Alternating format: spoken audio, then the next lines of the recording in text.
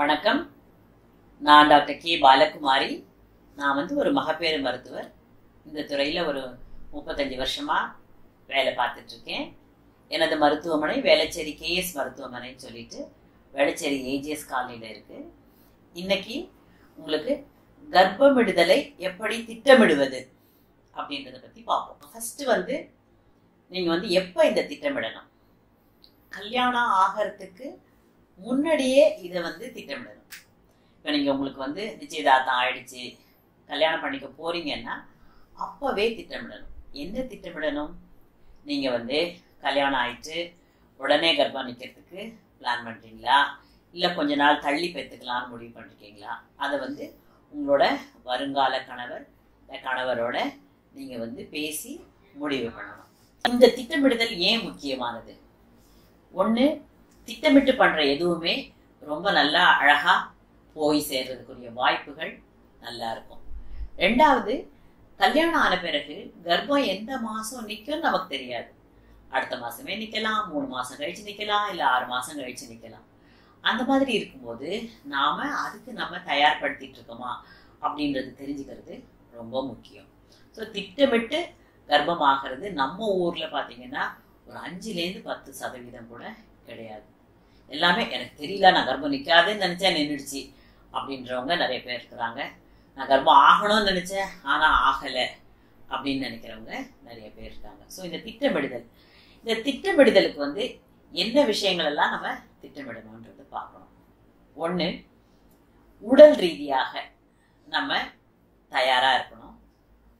மன ரீதியாக நம்ம தயாராக இருக்கணும். பொருளாதார ரீதியாக நம்ம தயாராக இருக்கணும். உடல் ரீதியாக என்னென்னலாம் நம்ம எப்படி நம்ம தயார்படுத்திக்கிறது? கர்ப்பம் ஆகிறதுக்கு கர்ப்பம் ஆகாமல் இருக்கிறதுக்கு ரெண்டுத்தையும் பார்ப்போம். முதல் கர்ப்பம் ஆகிறதுக்கு என்னென்னலாம் எப்படி நம்ம தயார்படுத்தணுன்றதை பார்க்கணும் முதல்ல வந்து வயசு.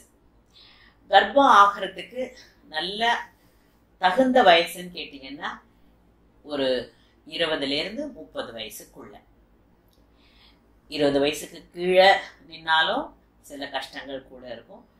முப்பதுலேருந்து முப்பத்தஞ்சு வயசு வரைக்கும் பரவாயில்ல பட் முப்பத்தஞ்சு வயசுக்கு மேலே வந்து கர்ப்பம் பிளான் பண்ணுறது வந்து அவ்வளோ நல்லதில்லை. முடிஞ்ச வரைக்கும் முப்பத்தஞ்சு வயசுக்குள்ள நம்ம கர்ப்பமாகி குழந்தைகளை பெற்று முடிப்பது நல்லது. இப்போ முதல்ல வந்து வயசு சொல்லிட்டேன். அடுத்தது வந்து உடல் எடை.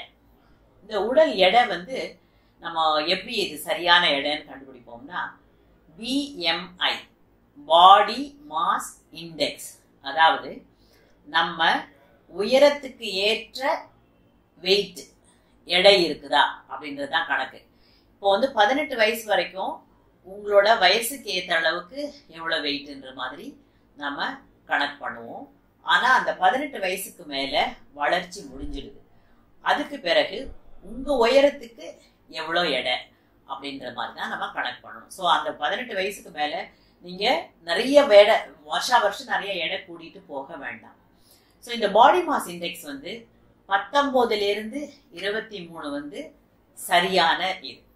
இந்த இருபத்தி மூணுக்கு மேலே கொஞ்சம் எக்ஸ்ட்ராவாக ஒரு இருபத்தஞ்சி இருபத்தாறு இருந்தால் கூட பரவாயில்ல. கொஞ்சம் ஓவர் வெயிட் கொஞ்சம் எடை ஜாஸ்தியாக இருக்கிறது. இந்த பிஎம்ஐ பத்தொம்போதுக்கு கீழே இருக்கிறதும் நல்லா இல்லை. அது வந்து உடம்புல போதுமான அளவு சக்தி பலம் இருக்காது. பிஎம்ஐ இருபத்தஞ்சுக்கு மேலே போச்சுனாலும் என்ன ஆகும்? உடம்புல தேவையில்லாத கொழுப்பு சத்து எடை இருக்குன்னு அர்த்தம். ஸோ அதை வந்து நம்ம குறைச்சி தகுந்த அளவு வெயிட் எடை வந்த பிறகு கர்ப்பம் ஆகிறதுக்கு திட்டமிடுறது நல்லது. ஸோ இதுக்கு என்ன பண்ணணும்? ஒல்லியாக இருக்கிறவங்க கொஞ்சம் நல்ல ஆரோக்கியமான உணவு சாப்பிட்டு இன்னும் கொஞ்சம் எடைய கூட்டிக்கோங்க. ரொம்ப குண்டா இருக்கிறவங்க உணவு உடற்பயிற்சி மூலம் உடல் எடையை குறைக்கிறதுக்கு முயற்சி பண்ணுங்க. முயற்சி பண்ணி தகுந்த எடை வந்த பிறகு கர்ப்பமாகிறது நல்லது. நன்றி நேயர்களே இந்த வீடியோ உங்களுக்கு எல்லாம் ரொம்ப உபயோகமாக இருந்திருக்கும்னு நினைக்கிறேன். நீங்க வந்து ஒரு குழந்தை பெற்றுக்கிறதுங்கிறது வந்து ஒரு சந்தோஷமான விஷயமா நினைச்சு அனுபவிச்சு உண்டாகிறதுல இருந்து பெற்றுக்கிறது வரைக்கும் நல்ல சந்தோஷமா செய்யணுங்கிறதுக்காக தான் இந்த வீடியோவை நாங்கள் கொடுத்துருக்கோம். மேலும் விவரங்களுக்கு என்னை தொடர்பு கொள்ளலாம்.